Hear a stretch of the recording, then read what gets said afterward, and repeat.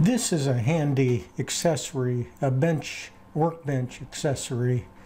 It's for sawing with a handsaw and it's very convenient for small items. And I will show how to construct this accessory in SketchUp. Uh, recently, I've been using this quite a bit in my work. I'm building a tambour secretary and it has these sliding tambour doors and this one is open and you can see how it folds around as it follows the groove in the cabinet. Uh, and each of these tambour doors is made up of about 50 slats, thin slats. There's a couple of them up here on the top. And I use this bench hook to uh, cut the length of the rough pieces. Uh, you just hold that piece up against the fence here and use a, a saw. I'm using a Japanese saw, but any saw will do.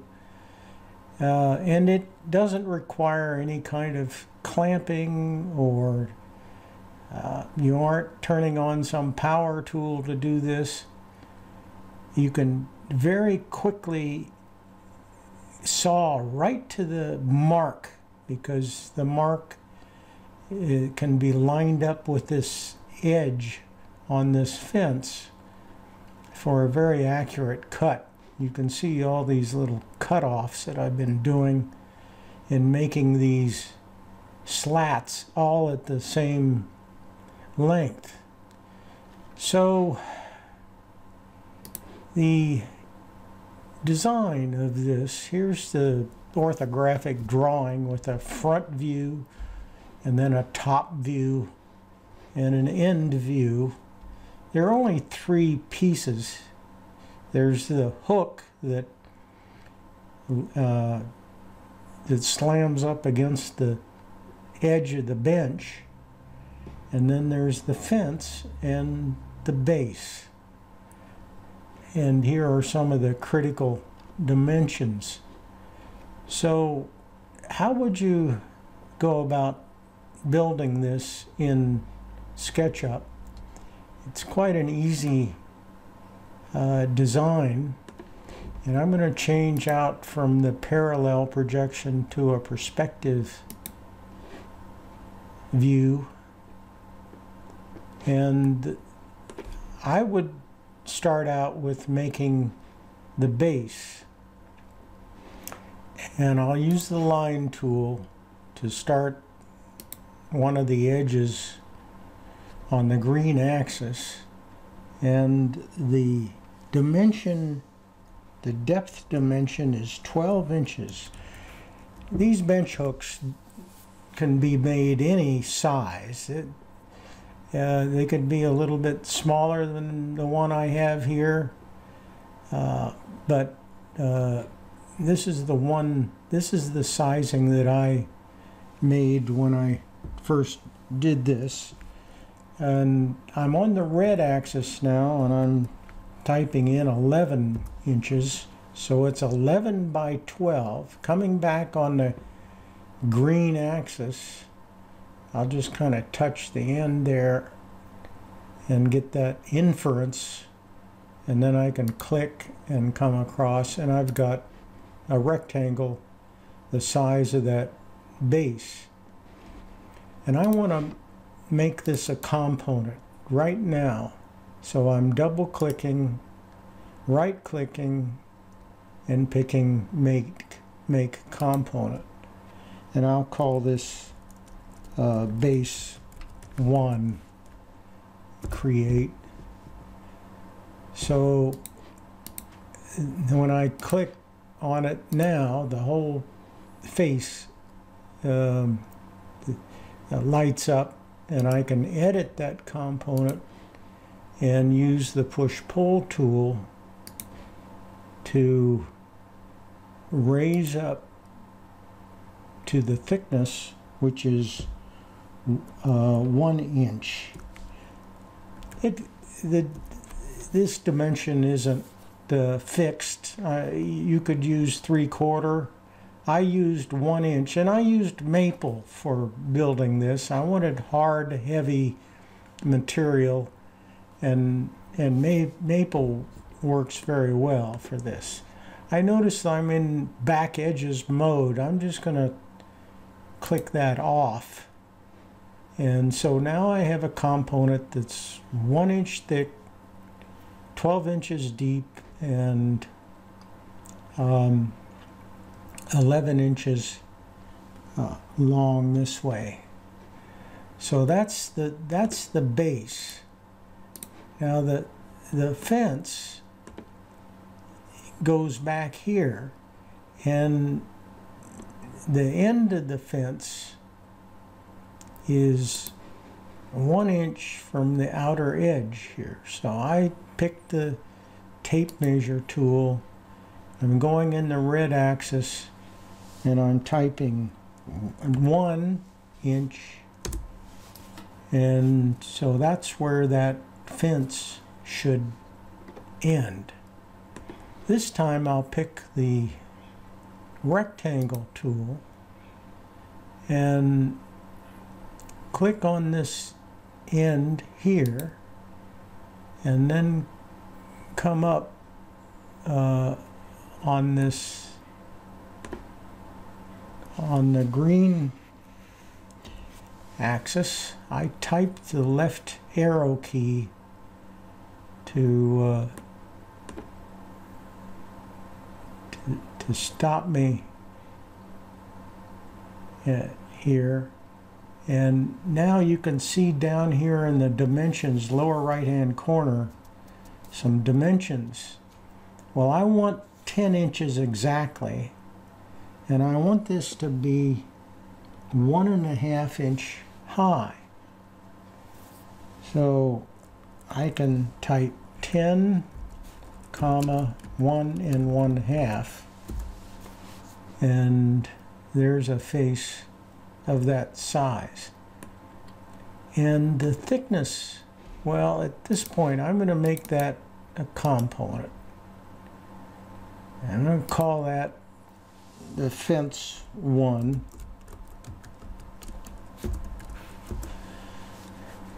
And again, right click to edit the component and push pull tool and bring this back.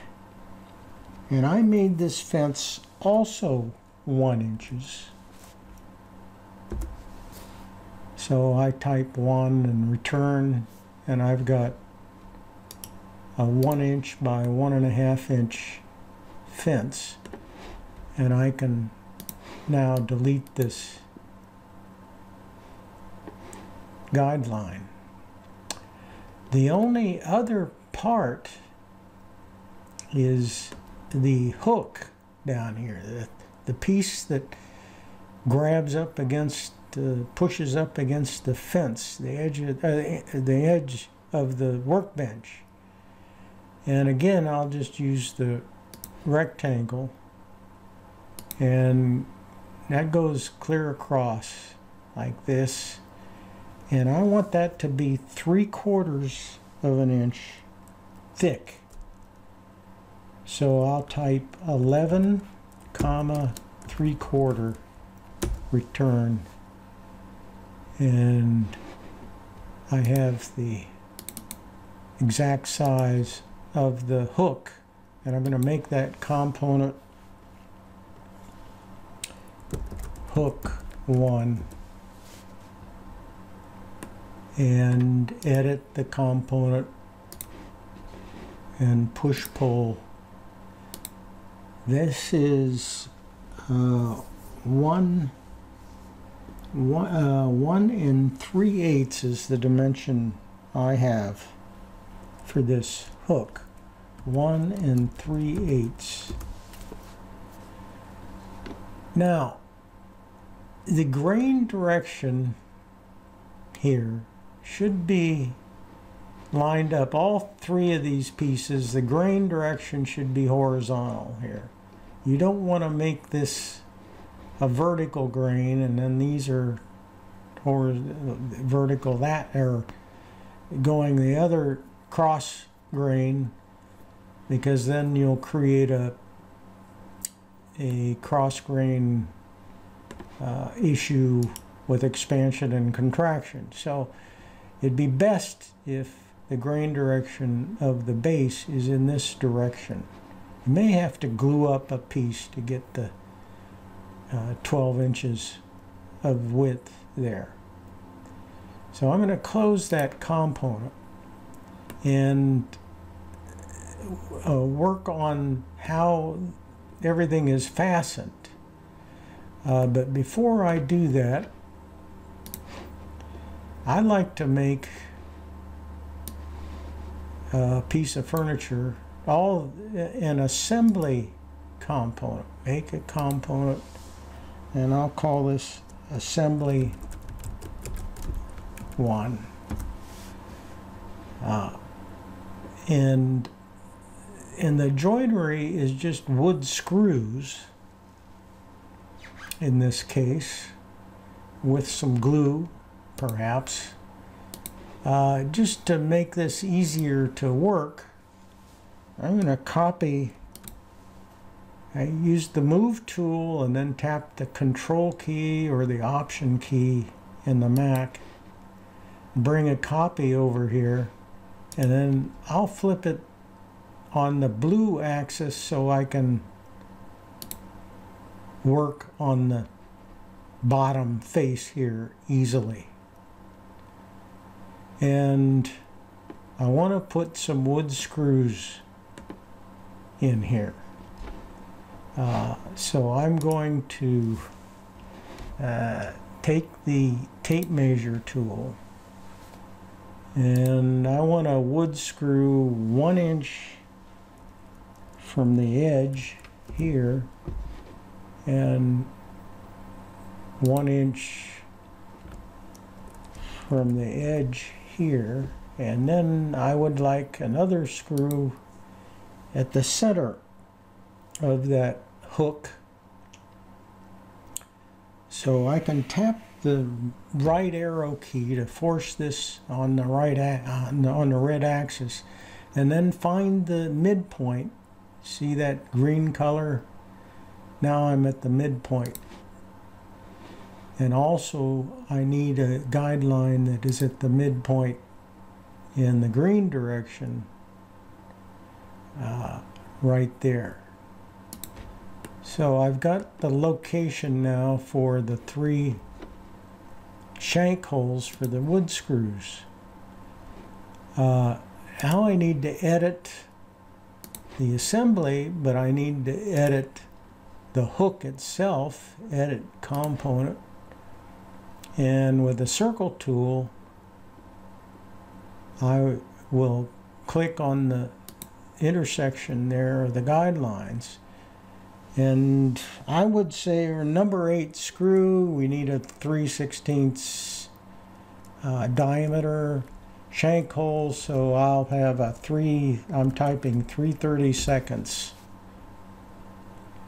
radius, and I've got to do that again. It remembers the last one, and do that again over here, 330 seconds, and make that an actual hole with the push-pull tool and push that down to the edge, bottom edge.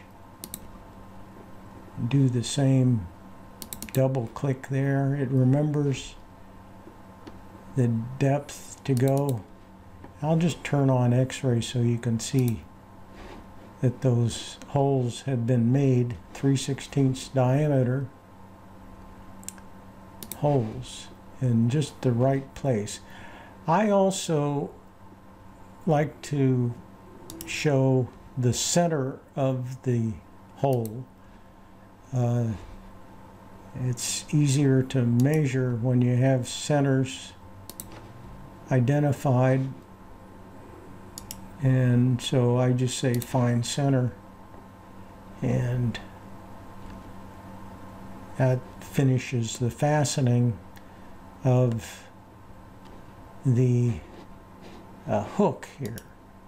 I can close the component, close the component and get rid of these guidelines. Now we need a similar uh, screws to fasten into this fence and I know I'm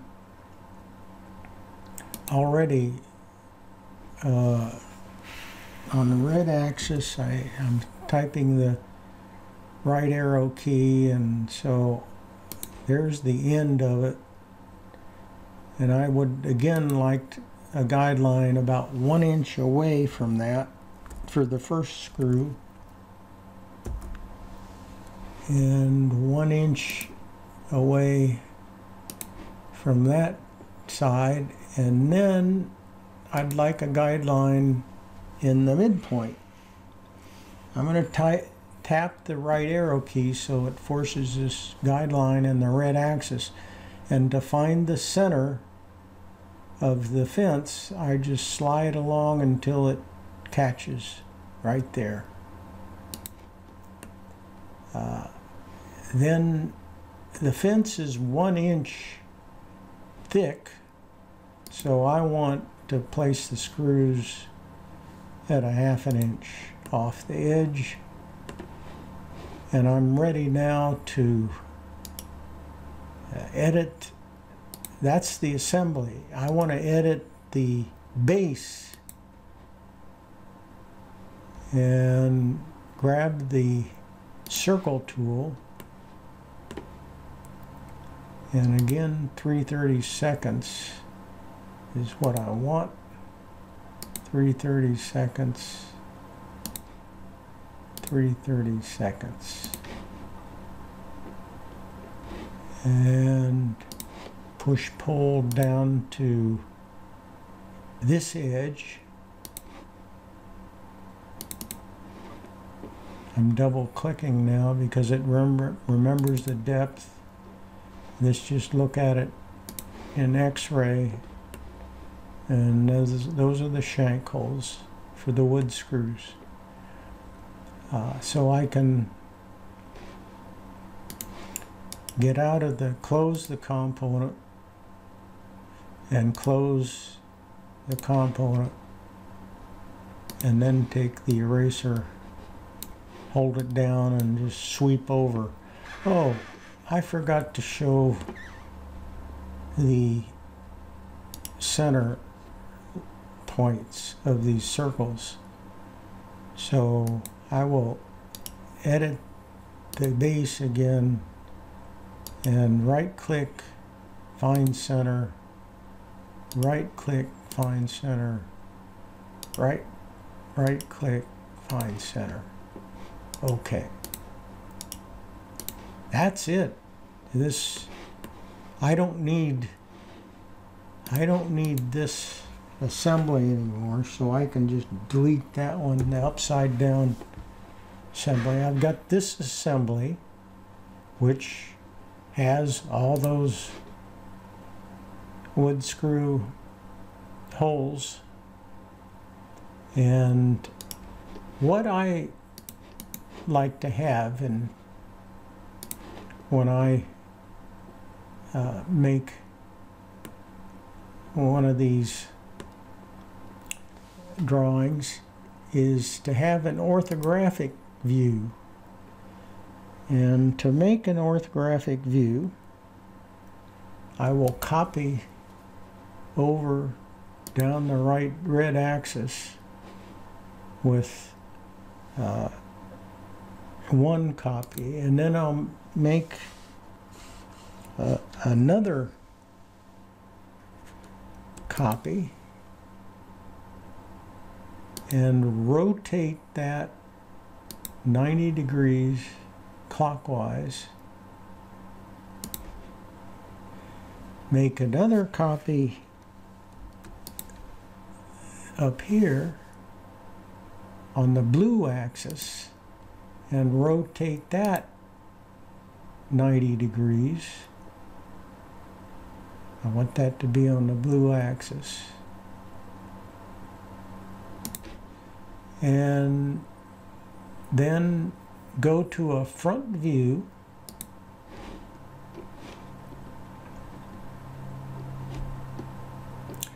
and I want to have camera in parallel projection. I don't like that I've got this red axis going through my component. So I'm going to shift all these pieces up away from that red axis just a little bit. And now I've got a front view and top view and an end view that I can dimension. We said this was 12 inches. We said this was 11 inches. Here is a one inch.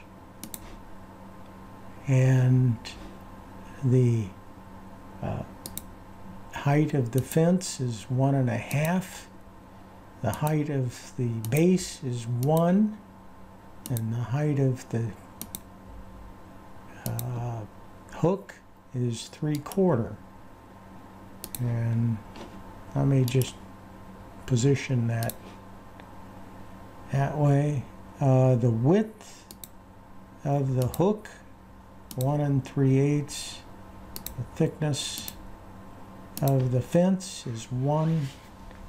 And we've already got that we can also see where the wood screws now I'd like to have a style in my orthographic view a style that is back edges so uh, in my model, I have a back edges style, and I click on that.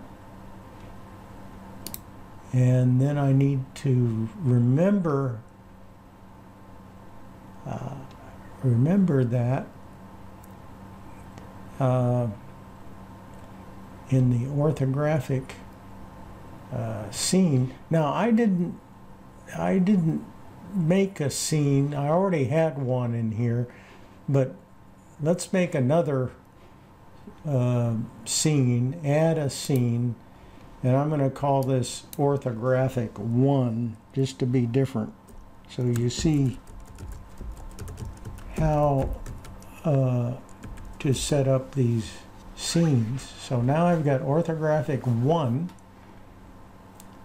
and I need to update that scene I click here, update, and I click update here. And so there's the photos that we were looking at. There's the workbench scene with a bench hook on it. Oh, and I did put a little grain direction on here just to remind me about that. And then orthographic the previous orthographic I had is here, and the new orthographic that we just made is here. Uh, now I see, yeah. So the other dimensions that can be identified here is to, it, the locations of these screw shank holes. There's the one inch and then to the middle is oh that's that can't be right uh, let me zoom when you dimension you want to make sure that you're clicking on what you want that that's that's it right there so that's a way of showing the shank hole locations. And we've got a, a drawing that can be very quickly made in the shop.